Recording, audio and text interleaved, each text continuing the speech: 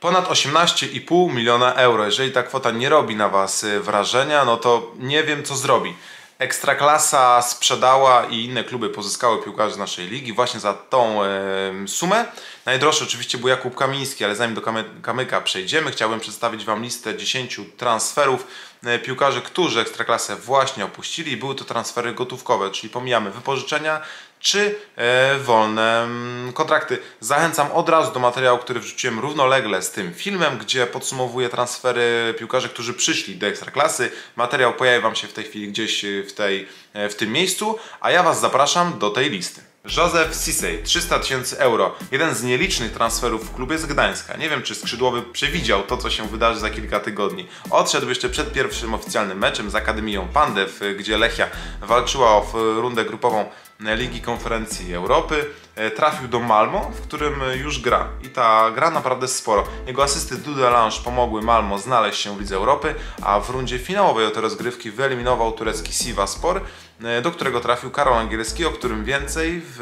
później. Łukasz Poręba, 350 tysięcy euro. Zagłębie latem przeszło rewolucję transferową, na której skorzystał, wyróżniając się w drugiej linii Poręba. Trafił za symboliczną, uważam, jak na swoją jakość kwotę, e, właśnie 350 tysięcy euro do Ligi Top 5 w Lens. Jest jednym z trójki Polaków, e, no bo obok Poręby w klubie grają Przemysław Frankowski, a także Adam Buksa. Poręba wpisał się ostatnio do protokołu meczowego, zaliczając asystę w swoim debiucie e, przy wygranej 5 do 2 jego zespołu z Lorient. Karol Struski, 400 tysięcy euro. Nie wiem, czy to dobry ruch dla ofensywnego pomocnika. Dość dużą kwotę Jagiellonia pozyskała z tego piłkarza, no jeszcze nieopierzonego, który dopiero jeden pełny sezon rozegrał e, w barwach klubu z Podlasia. Na pewno kierunek ruchu nieoczywisty, kraj, jak to się mówi, dobry na wakacje, niekoniecznie do gry e, w piłkę. Najbardziej jednak martwi to, że Karol Struski po prostu w Arisie nie gra. Zobaczymy, jak potoczą się dalsze losy tego piłkarza. Wojciech Golla, 400 tysięcy euro. Doświadczony stoper postanowił poszukać nowych wyzwań i trafił do węgierskiego Puszkarz Akademii. Na ten moment na Węgrzech jeszcze nie zadebiutował. Czekamy na jego oficjalny pierwszy mecz w barwach drużyny. Damian Michalski, 500 tysięcy euro. Zamienił zespół lidera z ekstraklasy na czerwoną latarnię drugiej Bundesligi. Pamiętam grę Greuter Fürth przed rokiem w Bundeslidze, kiedy spadli hukiem i naprawdę grali tragicznie.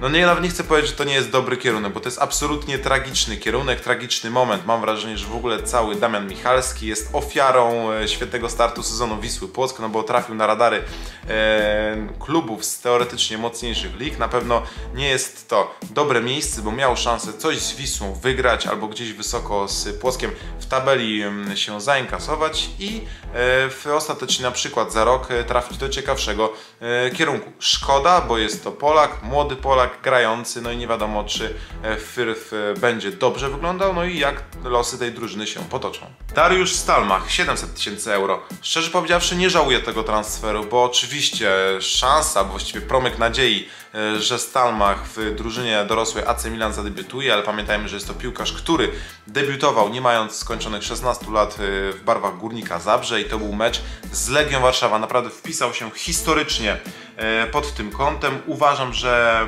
pobyt w Milanie, patrząc pod kątem takim technicznym, nauki, kultury. Da mu bardzo dużo, no i pamiętajmy, że wciąż na przykład za dwa lata wciąż to będzie bardzo młody piłkarz, który może okrzepnąć, nauczyć się taktyki i naprawdę ten pobyt w młodzieżowych drużynach Milanu może dać mu naprawdę sporo. Karol Angielski, milion euro. Wspomniany Angielski w tym rankingu po świetnym sezonie z pewnością nie szukał klubu głównie z kwestii rozwojowych, tak to nazwijmy. Gołym okiem było widać, że nie po drodze mu z nowym trenerem Radomiaka, Mariuszem Lewandowskim.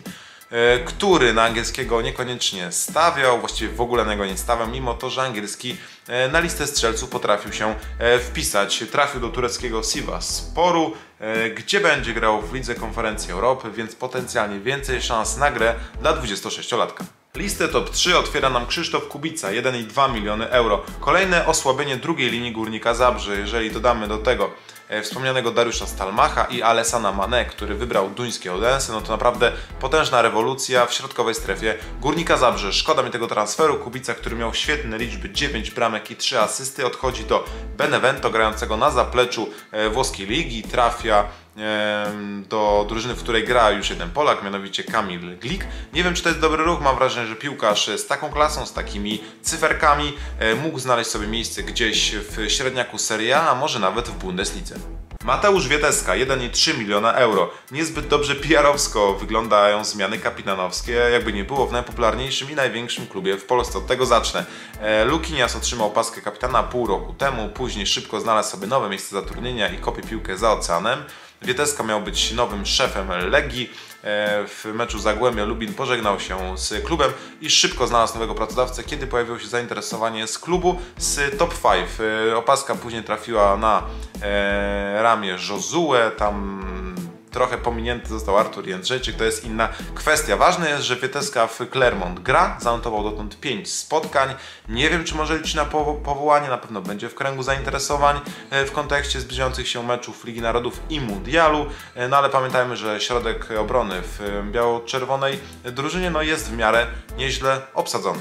Jakub Kamiński 10 milionów euro. Hasło największy, najgłośniejszy transfer lata to za mało. Drugi najgłośniejszy, największy kwotowo transfer w historii, po oczywiście Kacprze Kozłowskim e, i Kubie e, Moderze. Obaj odeszli do swoich klubów za 11 milionów e, euro. Będzie solidna wyrwa, właściwie już jest w drużynie Lecha, po tym jak Kamek znalazł nowego pracodawcę.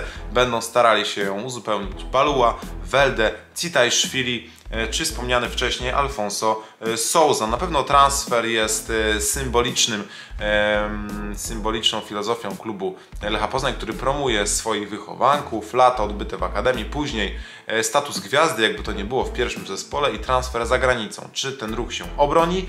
Miejmy nadzieję i miejmy nadzieję, że to nie będzie kazus Dawida Kownackiego, który w poszukiwaniu gry będzie musiał wrócić e, do Lecha Poznań. To by było na tyle z tych transferów. Zachęcam raz jeszcze do materiału, który wrzuciłem w tym samym czasie, mianowicie Polacy e, którzy przybyli do Ekstraklasy, czyli lista około 10 piłkarzy, moim zdaniem najciekawszych, na przede wszystkim kwotowo e, na samym szczycie. E, Dzięki, zachęcam standardowo do subskrypcji kanału, do polajkowania, no i widzimy się w podcastach pomeczowych Ekstraklasy.